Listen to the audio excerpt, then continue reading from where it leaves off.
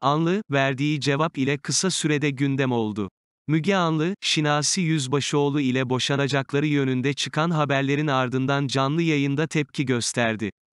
Müge Anlı'nın açıklaması kısa sürede gündem oldu. Anlı, Rahmi Özkan çıkan, öldü ve hakkındaki boşanma haberleri ile ilgili şunları söyledi, şimdi tatile giriyoruz diye Rahmi Bey'e boyuna, öldü, diye haber yapmayın. Benim için de, boşandı, diye yazmayın. Bunları yazanlar olursa uğraşacağım dedi. Adam aslan gibi maşallah. Ben de çok mutluyum maşallah. Gözü olanın gözü çıksın. Kim böyle yazıyorsa Allah onun başına versin. Gerçi Rahmi Bey, benim ömrüme ömür katılıyor, diyor.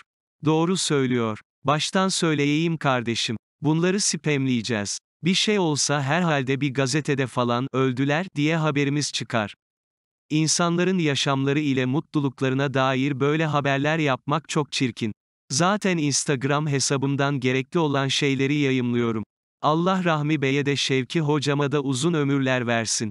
Müge Anlı ile Tatlı Sert programının sunucusu Müge Anlı, eşi Şinasi Yüzbaşıoğlu ile boşanacakları iddialarına yüksek tonda yanıt verdi.